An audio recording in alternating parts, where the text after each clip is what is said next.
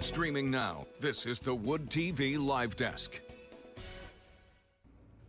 And good afternoon, everyone. Phil Penarski here with the Wood TV Live Desk. Hope you're all having a great start to your Wednesday. Once again, News 8 digital reporter Matt Jarowski is here to really go more in depth on one of his news stories that came out earlier this morning. It is all part of our Earth Day coverage. Again, another look at an endangered species here in the state of Michigan. Matt, how are you doing this morning? Doing great, Phil. Thank you. Mm-hmm. Yeah, and we're going to be talking about the northern long-eared bat today. Uh, pretty used to be pretty prevalent in Michigan. Population is starting to decline quite a bit. But Matt, let's just get a little bit of background on this animal. What is the northern long-eared bat? Give us some of its characteristics. Yeah, the northern long-eared bat uh, has a pretty wide range across uh, the United States and into Canada. Um, it's one of several bat species that is currently being impacted uh, by the specific fungus that causes something called white nose syndrome. Um, so it's infecting a, a lot of bats, uh, but the northern long-eared bat specifically is is really struggling with this fungus. Um, more the common, the, the little brown bat and those kind of things. Um, those kind of creatures have about a 90% fatality rate, so 9 in 10 of them die from this fungus once they get infected. The northern long eared bat, it's even worse. It's about 99%, so only 1 in 100 actually survive. Mm-hmm. Right now, and I want to remind everybody that is watching right now, you can check out Matt's story that goes really more in depth on this entire phenomenon of the long-eared bat, as well as the fungus that is impacting them right now. It's over on our website, woodtv.com. But let's focus a little bit onto that fungus now, Matt. It's got an incredibly long and difficult to pronounce name. Um, but talk about Yeah. just uh, like the difficulty uh, these bats are having with it. I think you spoke with uh, one official that said that about 95% of the long-eared bats have been killed off by this fungus recently, and just you know, what is it that is impacting these bats so much? Right, so it's a fungus that came over, I believe, from Europe. Uh, I think it was first found stateside around 2006, and then has been slowly spreading west. Um, so it was first discovered in Michigan around 2014, uh, and it's expected to cover the entire range by 2030, which is a major problem. It's moving pretty quickly. Uh, like you said, approximately only 5% of the northern long-eared bat population is still alive. We lost those 95% just in the last 20 years.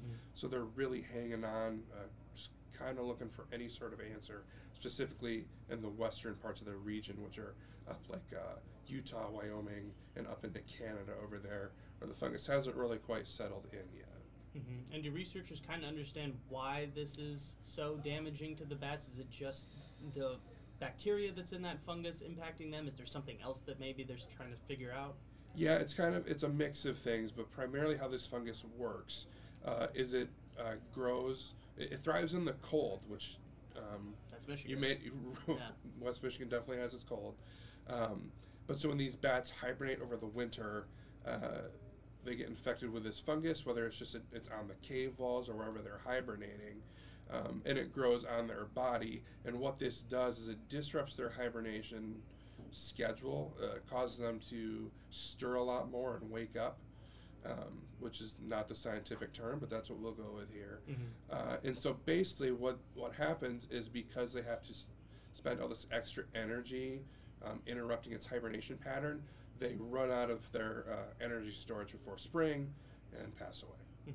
Right now, and of course, as it is in a lot of your stories, specifically with these, there uh, you touched on a lot of the conservation efforts that Yeah. are going on to try and rescue this population. And researchers actually made a pretty important discovery recently about a subsection of these long-eared bats that are seem to be immune to this fungus. Can you touch on a little bit Mhm. about that and what researchers hope to gain from this subsection to really bring up the population numbers? Right. So there is a, a one of the quotes I got from uh, her name was Winifred Frick. She's one of the lead scientists for Bat Conservation International, and she admitted uh, that things look pretty grim for this bat. We, there's no clear answer yet, and they don't know if they're going to be able to save it. However, there is a ray of hope, and it just so happens to be here in Michigan. There's a bat population uh, in Manistee County um, where they hibernate uh, at a facility at Tippy Dam. Uh, for whatever reason, uh, the northern long-eared bats uh, are dealing with the fungus there, but they're they're managing to survive their battles with it. Um, you know, every winter, every hibernation cycle, some do invariably die from the fungus, but most of them do survive. And so researchers are really uh, pinpointing on Tippy Dam to try to figure out what are the characteristics of this specific location or of these bats that are allowing them to survive their interactions uh, with these infections. So there's a lot of, uh, they're testing this in a couple of ways. They're running experiments right now. Um, I believe in Wisconsin, where they took bats specifically from Tippy Dam and then other bats from other origins where we know they struggled with the infections. For, try to figure out if there are genetic differences that are making these bats uh, more immune or, or stronger to these infections, or if it's specific um, characteristics of the dam facility itself. One thing that uh, researchers noted is that unlike most places, most bats they want to find somewhere that is pitch dark, cold, so they can totally shut down. And they sneak into their little uh, rock crevices to try to spend the winter. Tippy Dam is a little different because, uh, unlike those most underground areas, uh, they are exposed to some sunlight, which keeps them on a keeps them on a bit of a 24-hour rhythm as far as sun up and sun down. And so, one uh, researcher hypothesized that that is the reason why these bats are able to survive because it's not that just that the bats hibernation cycles are interrupted like like these bats are when they're infected.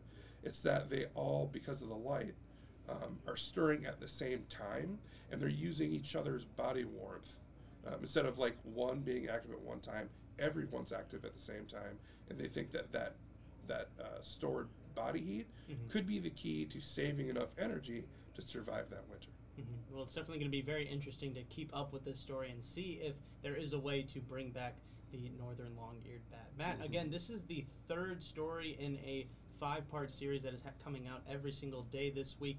Uh, you will be back again tomorrow at noon on the live desk to discuss tomorrow's endangered species. Can you give us a little bit of a tease about what we're going to be talking about tomorrow? Yep. Uh, tomorrow we're dealing with a specific type of snake uh, that was once super common across the Midwest and is now considered endangered. Uh, or excuse me, they are not considered endangered, and that is part of the problem. That's the big story. Uh, there are conservation groups that are actually filing lawsuits Mhm. against federal agencies to try to get them added to the endangered species list, arguing that these snakes need our help now more than ever. hmm Yeah, so a little bit of additional context for that story will be needed. And of course, you can find all of Matt's pieces all week long over on our website, woodtv.com, including today's topic, which was the northern long eared bat. And we also talked about the lake sturgeon on Tuesday, as well as the plover on Monday. Matt, as always, thank you so much for coming on the live desk. We really do appreciate it. Anytime, Phil. hmm And I want to thank everybody else for tuning in to this latest edition of the Wood TV Live Desk. I'm Phil Pinarski, and we hope you have a great rest of your day.